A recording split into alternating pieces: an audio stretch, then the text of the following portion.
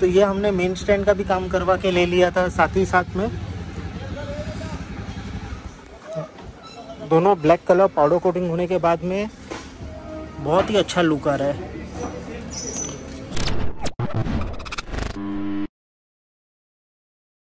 So hey guys, welcome back to the another vlog of Ride with SRV. This is Suraj and I hope you guys are absolutely fine. तो guys आज मैं निकला हूँ मेरे bike के अंदर एक मेजर मॉडिफिकेशन करने के लिए जो है मेरे बाइक के लिए एक मेन स्टैंड सो गाइज़ यहाँ पे अभी मेन स्टैंड जो है वो 502X में तो बाई डिफ़ॉल्ट आते हैं लेकिन यहाँ पे मुझे 502 में नहीं मिल रहे तो जिसके लिए मैं करा रहा हूँ कस्टमाइजेशन अब कस्टमाइजेशन क्यों करा रहा हूँ उसका रीजन है गाइस 502 में जो एग्जॉस्ट है वो आता है अंडा बेली मेन स्टैंड लगाने के लिए मुझे वो एग्जॉस्ट को निकालना पड़ेगा. सो so, मैं मॉडिफिकेशन एग्जॉस्ट का नहीं कराना चाहता हूँ बिकॉज़ मुझे पुलिस की तरफ़ से कोई भी हेरासमेंट नहीं चाहिए. इसीलिए मैं एग्जॉस्ट एज इट इज़ रखना चाहता हूँ और साथ में मेन स्टैंड का भी मज़े लेना चाहता हूँ. तो उसी रीजन की वजह से मैं मेरे बाइक के अंदर कस्टमाइज मेन स्टैंड बनवा रहा हूँ. तो चलिए फटाफट पहुँचते हैं गैरेज पे. यूसुफ भाई के पास में और अपने मेन स्टैंड को बनता हुआ देखते हैं। तो बेसिकली अभी ये यूसुफ भाई फार्मा बना रहे हैं मेन स्टैंड के लिए।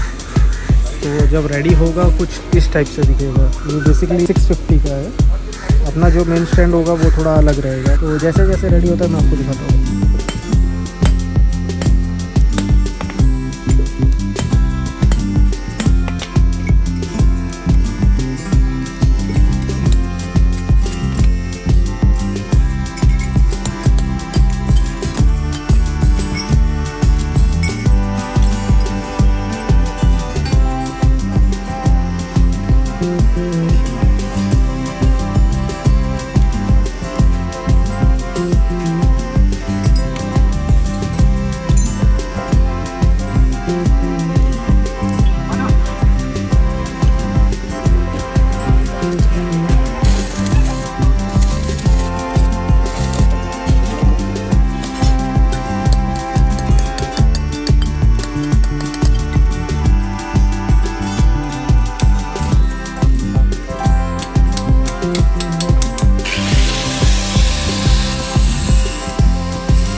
तो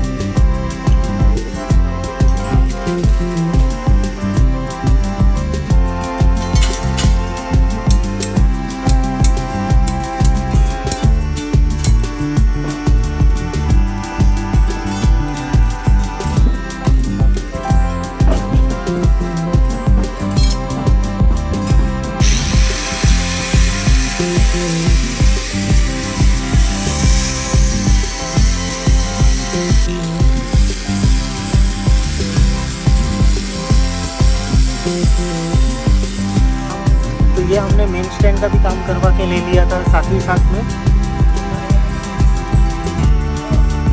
दोनों ब्लैक कलर पाउडर कोटिंग होने के बाद में बहुत ही अच्छा लुक आ रहा है। सो so guys, जो हमारा मेन स्टैंड था वो हमने प्रॉपरली उसको इंस्टॉल भी कर लिया है उसको पाउडर कोट कराने के बाद में लेकिन पाउडर कोट कराने के पहले मैंने इसको 100 परसेंट टेस्ट किया है। जो मेरा एडवेंचर एक्स वाला राइड हुआ था पुणे में, वहाँ पे अगर आप लोग ने वो वीडियो नहीं देखा रहेगा तो ऊपर आई बटन में लिंक आ रहा होगा तो प्लीज़ आप लोग चेक कर सकते हो। तो उस राइड पे मैंने अच्छे से इस स्टैंड को चेक किया कि कहीं वो स्टैंड आवाज़ तो नहीं कर रहा है, या उसके वजह से मुझे कोई इशू तो नहीं आ रहा है। ये सारी चीज़ें मैंने अच्छी तरीके से चेक की हुई है, और उन सब चीज़ों को टेस्ट करने के बाद में ही मैंने इसको फाइनल किया है, और फाइनल कोटिंग करवाई है। वैसे ये ब्लॉग देखते हुए आप लोग ने समझ गए होंगे हमारा जो नेक्स्ट ब्लॉग आने वाला है, वो क्या है?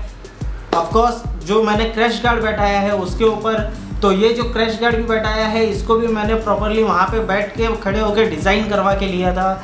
सो so गाइज़ हमारा जो नेक्स्ट मैं सोचा था पहले कि दोनों के भी ब्लॉग को साथ में कंबाइन कर दूँ, लेकिन वो काफ़ी लंबा ब्लॉग हो जाता था, इसीलिए मैंने उसको भी अलग रखा हुआ है। तो गाइज़ वैसे अगर आपको भी ऐसा स्टैंड बनाना होगा या बाइक का कोई भी काम करना होगा तो आप लोग यूसु भाई को कांटेक्ट कर सकते हो, जिन्होंने ये स्टैंड बनाया है। कांटेक्ट नंबर में आपको, मुझे डीएम करना, मैं आपको दे दूँगा। सोशली मैं नहीं डाल सकता, क्योंकि आपको मालूम है सोशली डालूँगा। अगर कोई इशू हो गया तो फिर प्रॉब्लम हो सकती है। सो उससे बेटर है करके कि आप मुझे डीएम करना, मैं आपको उनका कॉन्टेक्ट डिटेल प्रोवाइड कर दूँगा। मुंबई में आपको कहीं पे भी कुछ कराना रहेगा, आपका हर बाइक का सॉल्यूशन वो करके दे देंगे। सो so, गाइज़ अगर वीडियो पे अभी तक आप बने हुए हैं तो ये वीडियो लाइक किए हुए बिना मत जाना। चैनल पे नए हो सब्सक्राइब करो hit the bell icon to get the instant notification insta idea रहा उसको फॉलो कर लेना। मिलते हैं आपको ऐसे ही किसी बड़ी ऐसी ब्लॉग में। Till then bye bye